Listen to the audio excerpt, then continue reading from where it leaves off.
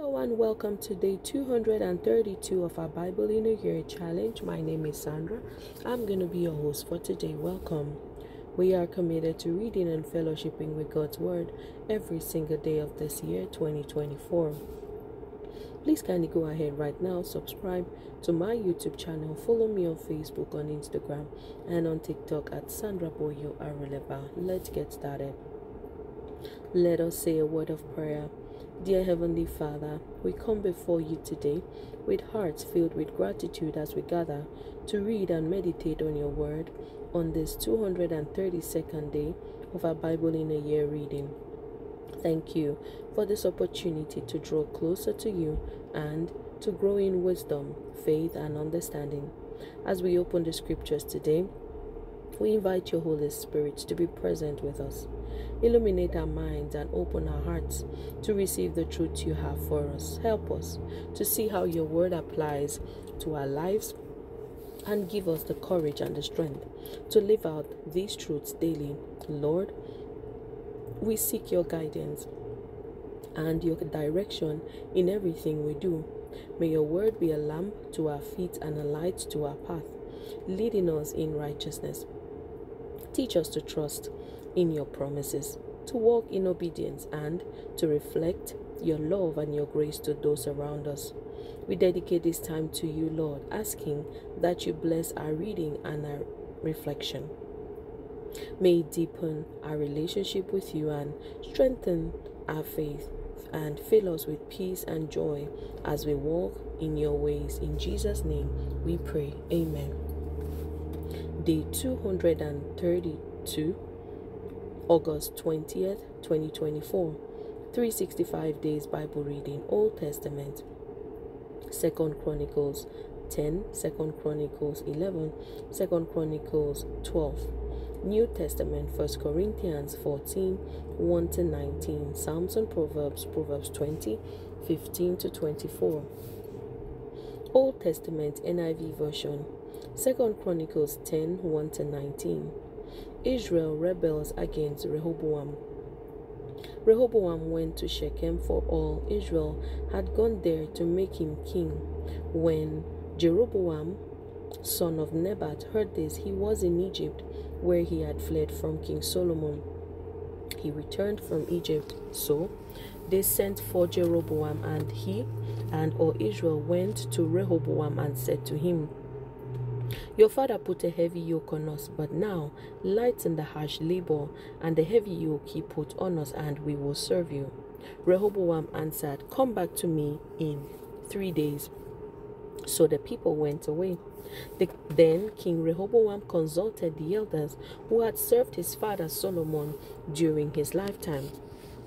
How would you advise me to answer these people? He asked. They replied, if you will be kind to these people and please them and give them a favorable answer, they will always be your servants. But Rehoboam rejected the advice the elders gave him and consulted the young men who had grown up with him and were serving him. He asked them, What is your advice? How should we answer these people who say to me, Lighten the yoke your father put on us? The young men who had grown up with him replied, The people have said to you, Your father put a heavy yoke on us, but make our yoke lighter.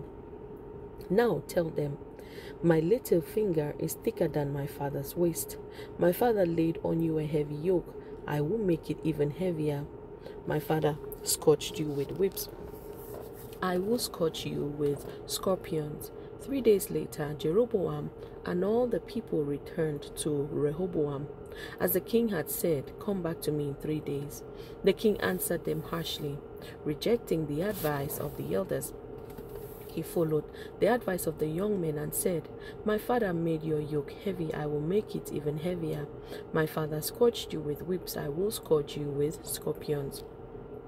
So the king did not listen to the people, for this turn of events was from God to fulfill the word the Lord had spoken to Jeroboam, son of Nebat, through Ahijah the Shilonite.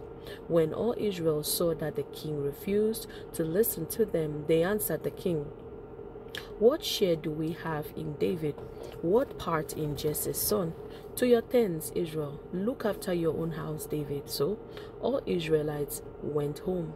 But as for the Israelites who were living in the towns of Judah, Rehoboam still ruled over them.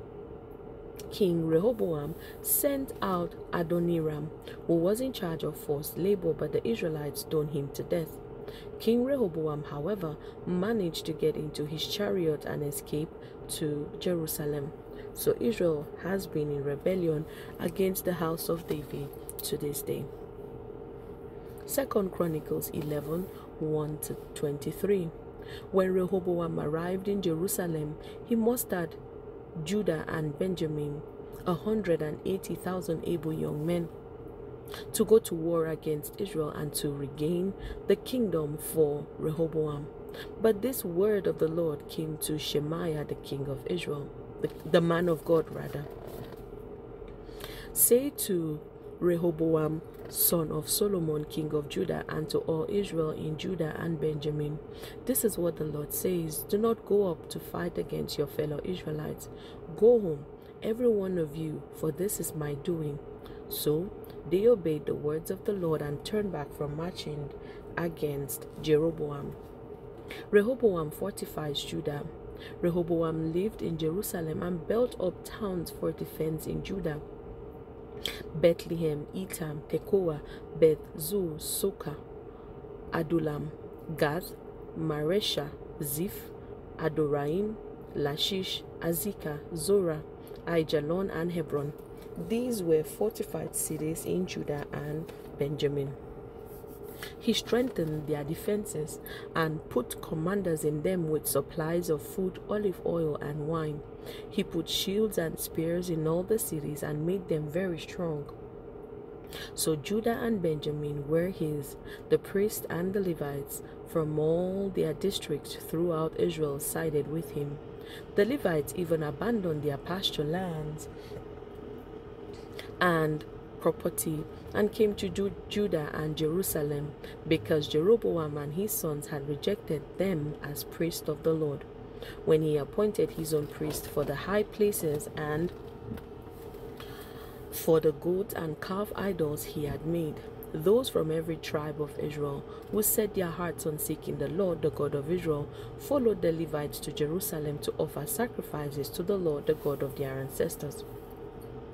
They strengthened the kingdom of Judah and supported Rehoboam, son of Solomon, three years, following the ways of David and Solomon during this time. Rehoboam's family. Rehoboam married Mahalath, who was the daughter of David's son, Jerimoth, and of Abihail, the daughter of Jesse's son Eliab. She bore him sons Jeush, Shemariah, and Zaham. Then he married Maacah, daughter of Absalom, who bore him Abijah, Attai, Ziza, and Shelomith. Rehoboam loved Maacah, daughter of Absalom, more than any of his other wives and concubines. In all, he had 18 wives and 60 concubines, 28 sons and 60 daughters. Rehoboam appointed Abijah, son of Maacah, as crown prince among his brothers in order to make him king. He acted wisely, dispersing some of his sons throughout the districts of Judah and Benjamin and to all the fortified cities. He gave them abundant provisions and took many wives for them. Second Chronicles 12 1 to 16. Shishak attacks Jerusalem. After Rehoboam's position as king was established and he had become strong, he and all Israel with him abandoned the law of the Lord because they had been unfaithful to the Lord. Shishak, king of Egypt, attacked Jerusalem in the fifth year of King Rehoboam with 1,200 chariots and 60,000 horsemen, and the innumerable troops of Libyans, Sukkites, and Cushites that came with him from Egypt. He captured the fortified cities of Judah and came as far as Jerusalem. Then the prophet Shemaiah came to Rehoboam and to the leaders of Judah who had assembled in Jerusalem for fear of Shishak, and he said to them, This is what the Lord says, You have abandoned me, therefore I now abandon you to Shishak. The leaders of Israel and the king humbled themselves and said, The Lord is just. When the Lord saw that they humbled themselves, this word of the Lord came to Shemaiah. Since they have humbled themselves, I will not destroy them, but will soon give them deliverance. My wrath will not be poured out on Jerusalem through Shishak. They will, however, become subject to him, so that they may learn the difference between serving me and serving the kings of the other lands. When Shishak, king of Egypt, attacked Jerusalem, he carried off the treasures of the temple of the Lord and the treasures of the royal palace. He took everything, including the gold shields Solomon had made. So King Rehoboam made bronze shields to replace them and assigned these to the commanders of the guard on duty at the entrance to the royal palace. Whenever the king went to the Lord's temple, the guards went with him bearing the shields, and afterward they returned them to the guard room. Because Rehoboam humbled himself, the Lord's anger turned from him, and he was not totally destroyed. Indeed, there was some good in Judah. King Rehoboam established himself firmly in Jerusalem and continued as king. He was 41 years old when he became king, and he reigned 17 years in Jerusalem, the city the Lord had chosen out of all the tribes of Israel, in which to put his name. His mother's name was Naamah, she was an Ammonite. He did evil because he had not set his heart on seeking the Lord. As for the events of Rehoboam's reign from beginning to end, are they not written in the records of Shemaiah the prophet and of Iddo the seer that deal with genealogies? There was continual warfare between Rehoboam and Jeroboam. Rehoboam rested with his ancestors and was buried in the city of David, and Abijah his son succeeded him as king. New Testament NIV version, First, First Corinthians 14 1 to 19. Intelligibility in worship. Follow the way of love and eagerly desire gifts of the Spirit, especially prophecy. For anyone who speaks in a tongue does not speak to people but to God. Indeed, no one understands them. They utter mysteries by the Spirit, but the one who prophesies speaks to people for their strengthening, encouraging, and comfort. Anyone who speaks in a tongue edifies themselves, but the one who prophesies edifies the church. I would like every one of you to speak in tongues, but I would rather have you prophesy. The one who prophesies is greater than the one who speaks in tongues, unless someone interprets so that the church may be edified. Now, brothers and sisters, if I come to you and speak in tongues, what good will I be to you, unless I bring you some revelation or knowledge or prophecy or word of instruction? Even in the case of lifeless things that make sounds, such as the pipe or harp, how will anyone know what tune is being played unless there is a distinction in the notes? Again, if the trumpet does not sound a clear call, who will get ready for battle? So it is with you. Unless you speak intelligible words with your tongue, how will anyone know what you are saying? You will just be speaking into the air. Undoubtedly, there are all sorts of languages in the world, yet none of them is without meaning. If then I do not grasp the meaning of what someone is saying, I am a foreigner to the speaker, and the speaker is a foreigner to me. So it is with you, since you are eager for gifts of the Spirit, try to excel in those that build up the church. For this reason, the one who speaks in a tongue should pray that they may interpret what they say. For if I pray in a tongue, my spirit prays, but my mind is unfruitful. So what shall I do? I will pray with my spirit, but I will also pray with my understanding. I will sing with my spirit, but I will also sing with my understanding. Otherwise, when you are praising God in the Spirit, how can someone else who is not put in the position of an inquirer say Amen to your thanksgiving, since they do not know what you are saying? You are giving thanks well enough, but no one else is edified. I thank God that I speak in tongues more than all of you, but in the church I would rather speak five intelligible words to instruct others than 10,000 words in a tongue. Psalms and Proverbs. Proverbs 20 15 to 24. Gold there is and rubies in abundance, but lips that speak knowledge are a rare jewel. Take the garment of one who puts up security for a stranger, hold it in pledge if it is done for an outsider. Food gained by fraud tastes sweet, but one ends up with a mouthful of gravel. Plans are established by seeking advice, so if you wage war, obtain guidance. A gossip betrays a confidence, so avoid anyone who talks too much. If someone curses their father or mother, mother, their lamp will be snuffed out in pitch darkness. An inheritance claimed too soon will not be blessed at the end. Do not say, I will pay you back for this wrong. Wait for the Lord, and he will avenge you. The Lord detests deferring weight and dishonest skills do not please him. A person's steps are directed by the Lord. How then can anyone understand their own way? Amen. Lessons learned from 2 Chronicles 10. The importance of wise counsel. Rehoboam's decision to reject the counsel of the elders in favor of his peers' advice led to the division of the kingdom. This teaches us the importance of seeking and heeding wise counsel, especially when making significant decisions. The consequences of pride and harshness. Rehoboam's harsh response to the people, driven by pride and the desire to assert authority, resulted in the loss of most of his kingdom.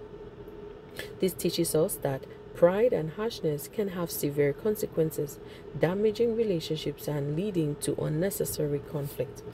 God's sovereignty. Despite Rehoboam's poor decisions, the division of the kingdom was ultimately part of God's plan, as foretold by the prophet Ahijah.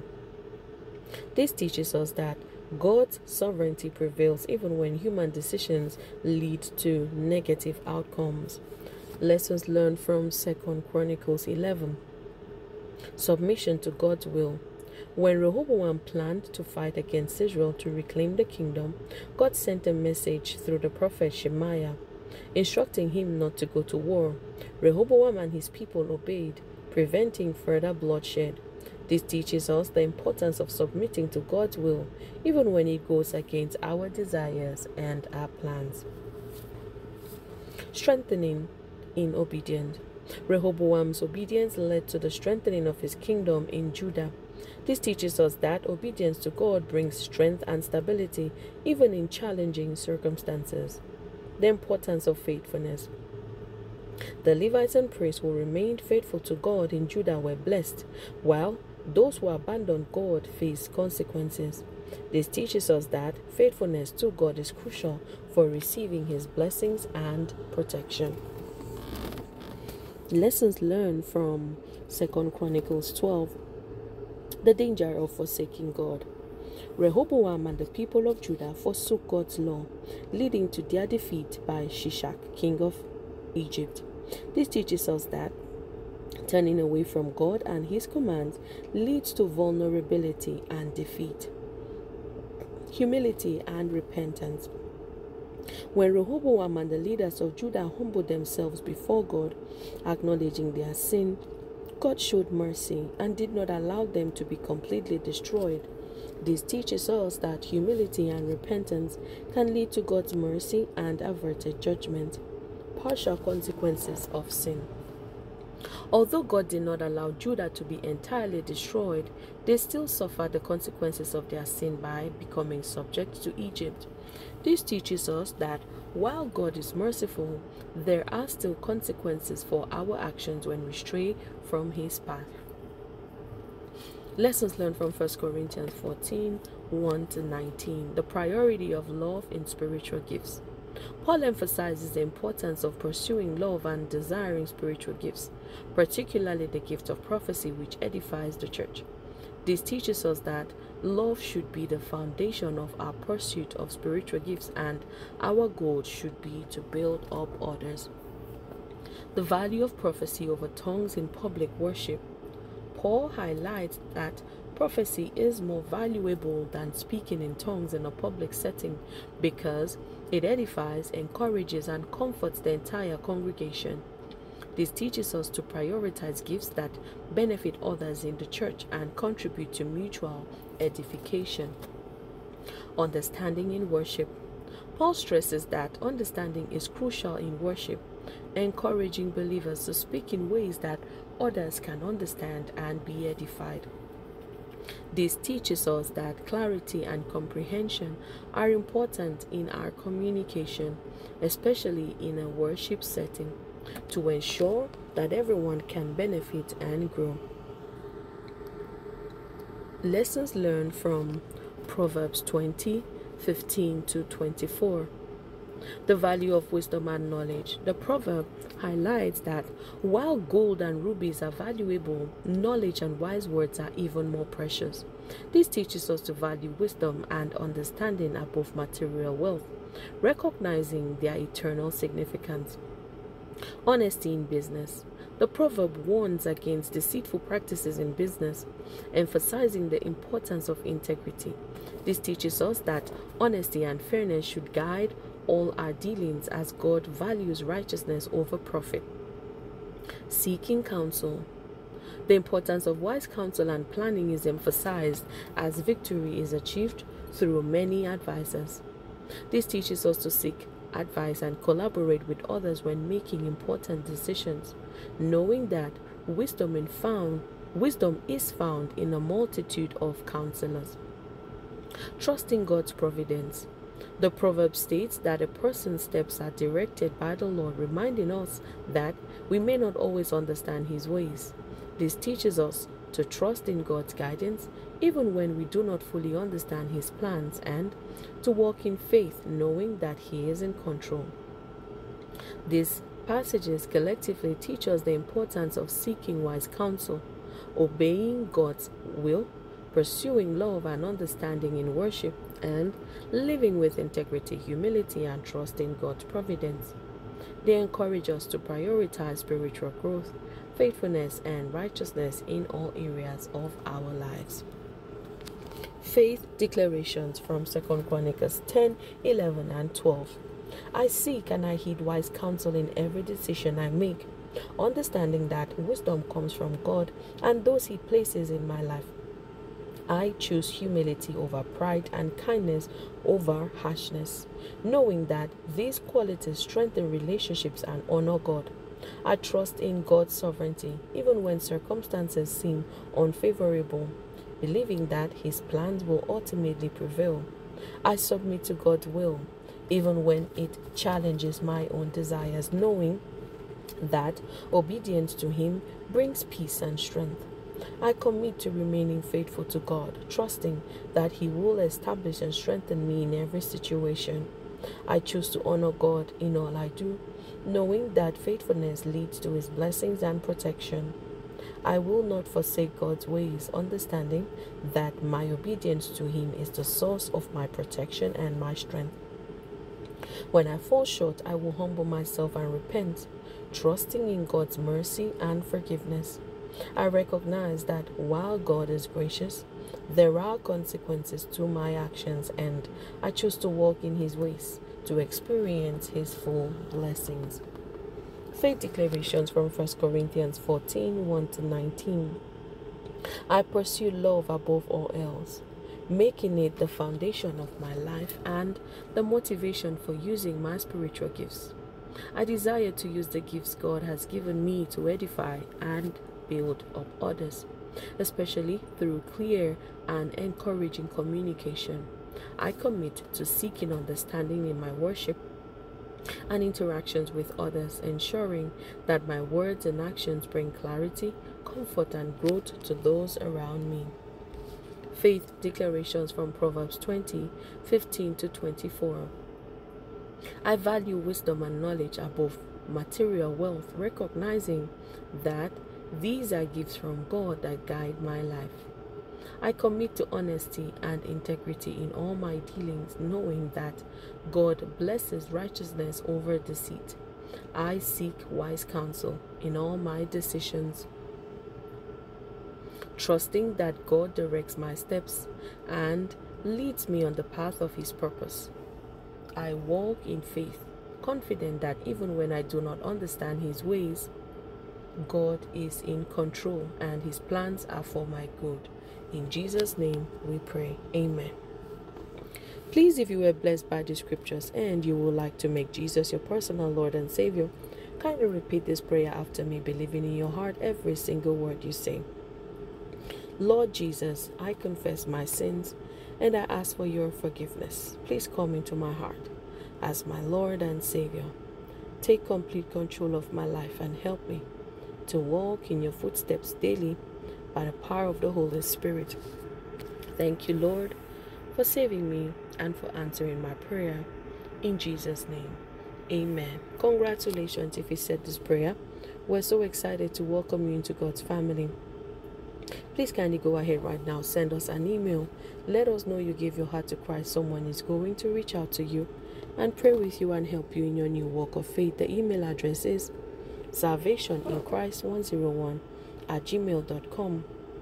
That is salvation in Christ 101 at gmail.com. God bless you. Please remember to subscribe to my YouTube channel. Follow me on Facebook, on Instagram, and on TikTok at Sandra Boyo Aruleba. Thank you so much for being here again today. It's always a blessing having you here. I look forward to another amazing day with you tomorrow. Have a blessed day today. I love you. Bye.